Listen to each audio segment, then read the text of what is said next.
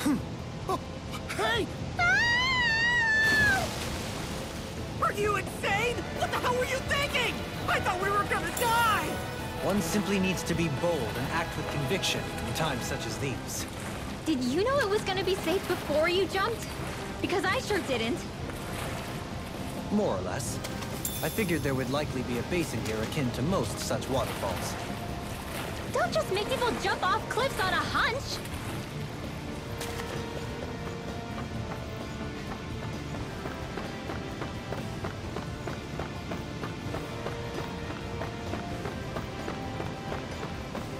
We ever gonna finish climbing this ladder? We're climbing a considerable height. It's only natural that it will take some time. That's not the problem here! We...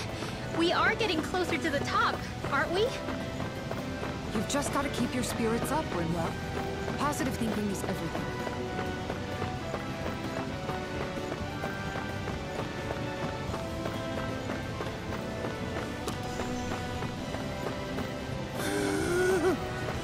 Finally reached the top. My limbs feel like they're about to fall off. Already? You kids need to train more. She's right.